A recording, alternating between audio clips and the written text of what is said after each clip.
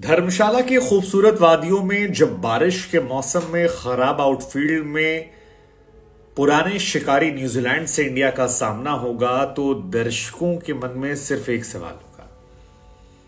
क्या न्यूजीलैंड से हम बदला लेंगे? क्या बदला लेंगे हम वर्ल्ड टेस्ट चैंपियनशिप में उस मिली हार का? क्या बदला लेंगे हम धोनी को अच्छी विदाई ना दे पाने का? क्या बदला लेंगे हम? हमारे वर्ल्ड कप के सपने को 2019 में अधूरा रखने का क्या बदला लेंगे हम रोहित शर्मा के उन आंसुओं का जो मैच के बाद रोहित की आँखों से बरस गए थे? अनफॉर्चुनेट मैच था और इंडिया उस मैच में जब हारी थी, तब भी बारिश हुई थी। और आज जब मुकाबला है, तब भी बारिश है। न्यूजीलैंड से केन विलियमसन बाहर है इंडिया से हार्दिक पांड्या बाहर है। न्यूजीलैंड बिना विलियमसन के खेलना सीख गई है। इंडिया को सीखना है। कि बिना हार्दिक पांड्या के किसे खिलाएँ? सूर्य कुमार यादव को जिनकी हथेली में चोट लगी है या फिर ईशान किशन को जिन्हें मधुमक्खी ने छेद रखा है? अश्विन को खिलाएँ या फिर उन शार्दुल ठाकुर को जिनकी बैटिंग को लेकर रोहित ने कहा कि इंतज़ार हम सब कर रहे हैं, वो बड़े खिलाड़ी हैं। या फिर उस मोहम्मद शमी को, जिसके बारे में कहा जाता है कि is one of the greatest लेकिन अनफॉर्चुनेट है कि बुमराह और सिराज ओपनिंग गेंदबाजी करते हैं और नई गेंद से हम शमी को गेंद दे नहीं सकते। इस वजह से शमी को बाहर बिठाना है। सवाल बहुत सारे, लेकिन सवाल यह भी क्या इंडिया न्यूजीलैंड इंडिया और न्यूजीलैंड के उस मुकाबले को बीते हुए एक दिन हो गए और एक दिन बाद भी वो जीत की टीस जो है वो आज भी हमारे जहन में ये सवाल आज भी जहन में है कि अगर धोनी ने उस दिन डाइव लगा दी होती तो शायद हम मैच जीत जाते। ये सवाल आज भी जहन में है कि अगर बारिश ना हुई होती तो हमारे गेंदबाजों ने जो कमाल किया था न्यूजीलैंड को छोटे स्कोर पर रोक दिया था वो शायद खत्म हो जाती। ये सवाल आज भी हमारे जहन में है कि अगर ऋषभ पंत ने लप्पा ना मारा होता, माती रायडू को टीम में ले लिया गया होता, रोहित, विराट, राहुल सस्ते में आते ही चले ना गए होते तो फिर मैच शायद हम जीत लेते।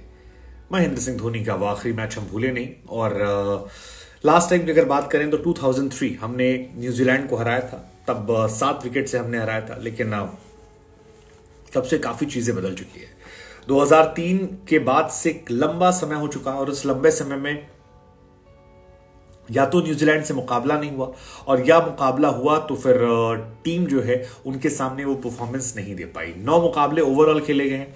1975 में फ़र्स्ट खेला गया था, जिसमें से पाँच मुकाबले न्यूजीलैंड ने जीते हैं, तीन मुकाबले इंडिया ने जीते हैं और एक मुकाबला जो है वो टाई हो गया। लेकिन इस बार बारिश अगर नहीं हुई तो फिर ये मुकाबला फिंगर क्रॉस करने वाला होगा, क्योंकि इस मुकाबले के बाद ये पता लग जाएगा कि कौन सी वो टीम है जो सबसे बेहतर है, जो अजय है, जो अब तक पाँच ये वही मैदान है जहाँ पर साउथ अफ्रीका और नीदरलैंड के बीच मैच खेला गया था। साउथ अफ्रीका इस टूर्नामेंट में सिर्फ़ एक मैच हारी है और वो यही हारी थी नीदरलैंड के सामने। दोपहर दो बजे मौसम को लेकर चर्चा होगी और दोपहर दो बजे ही बारिश पर भी चर्चा होगी। ये दोनों बातें एक साथ हैं। लेकिन टीम इंडिया के सामने सिर्फ़ बारिश एक परेशानी नहीं है। परेशानी हार्दिक पांड्या का ना होना। हार्दिक पांड्या के ना होने से आप एक एक्स्ट्रा गेंदबाज या एक्स्ट्रा बल्लेबाज नहीं खिला पाएँगे। या तो आप पाँच बल्लेबाज छह बैट्समैन पाँच बॉलर आप खिला पाएँगे। आप सात बल्लेबाज और छह बॉलर नहीं खिला पाएँगे। या पाँच बॉलर नहीं, नहीं खिला पाएँगे। छह बॉलर नहीं खिला पाएँगे। तो ये एक परेशानी का सबक जो है टीम इंडिया के लिए। आ, उनकी जगह ऑप्शंस बहुत सारे हैं। सूर्य कुमार यादव मोहम्मद शमी रविचंद्रन अश्विन शार्दुल ठाकुर ईशान किशन ये तमाम लोग हैं। इनमें भी जैसा कि हमने आपको बताया कि सूर्य कुमार को चोट लगी है ईशान किशन को मधुमक्खी छेद रखी है। सो so, ओवरऑल आपकी टीम जो है काफ़ी डिपेंडेंट होगी टॉप फाइव पर जिसमें रोहित शर्मा शुभमन गिल विराट कोहली के राहुल श्रेयस अय्यर शामिल होते हैं। इन्हीं पर यह टीम डिपेंडेंट होने वाली और इन्हीं के भरोसे आपको मैच जीतना होगा। हालाँकि फास्ट बॉलिंग को ये पिच काफ़ी सूट करती है और जब मैनचेस्टर जब हमारा मुकाबला लास्ट टाइम होता मैनचेस्टर में सो वहाँ पर हमने देखा था कि मैट हेनरी हो ट्रेंड बोल्ट हो या लॉकी फोगिसन हो इन लोगों ने अच्छी गेंदबाजी कर रखी है खासतौर पर हेनरी और बोल्ट ने उस साल बहुत अच्छी गेंदबाजी की थी। अब टिम सऊदी भी लौट आए हैं लोकी फर्ग्यूसन पिछले मैच में कहर बर्बाती गेंद डालना वापस शुरू। सो so, ये मैच काफ़ी इंपॉर्टेंट है लेट्स जस्ट होप कि इस मैच में पूरा मैच हो और हम उनसे बदला ले सकें। बदला ज़रूरी भी है बिकॉज़ न्यूजीलैंड और साउथ अफ्रीका ही दो टीम ऐसी हैं जो इंडिया को वर्ल्ड कप में हराती है। मतलब ये परेशान करने वाली टीम है। 2011 में भी हमें अफ्रीका ने हराया था 2019 में हमें न्यूजीलैंड ने हराया और इस साल भी यही दो टीम लग रही हैं जो हमें हरा सकती हैं बाकी टीमों को मैनेज कर लेंगे।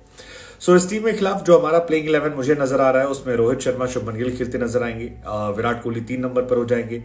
चार पर श्रेयस, पाँच पर राहुल, इसमें कोई डाउट नहीं है। छह नंबर पर मुझे लगता है सूर्या या ईशान में किसी को मौका मिलेगा। मेरे हिसाब से सूर्य कुमार यादव की ज़्यादा चांसेस हैं क्योंकि टफ सिचुएशन मतलब रन ज़्यादा चाहते हो आपकी न्यूजीलैंड के सामने थोड़े रन ज़्यादा बने और सूर्य कुमार यादव थोड़े डिस्ट्रक्टिव प्लेयर हैं। ऑल्सो उन्हें इस वर्ल्ड कप में मौका नहीं मिला है। इसके अलावा सात नंबर पर रविंद्र जडेजा इस कंफर्म आठ नंबर पर मुझे लगता है शार्दुल या शमी में कोई एक खेलेगा, क्योंकि ये पिच जो है, ये स्पिन ट्रैक को हेल्प करता है लिहाजा फास्ट बॉलिंग को हेल्प करता है। लिहाजा अश्विन के चांसेस कम हो जाते हैं। सो शार्दुल या शमी, किसे खिलाएँगे आप?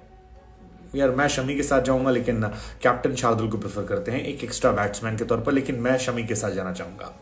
उसके बाद नौ नंबर पर कुलदीप, दस नंबर पर बुमराह और ग्यारह पर मोहम्मद सिराज। ये मेरे हिसाब से। न्यूजीलैंड की बात की जाए तो कॉनवे यंग खेलेंगे बिकॉज़ विलियमसन नहीं है। देन उसके बाद आप क्या आते हैं? Rachin Ravindra Mitchell, Latham. Latham के बाद Phillips, Chapman, Santner, Henry, Boult और फर्ग्यूसन। ये उनकी टीम है। आपके हिसाब से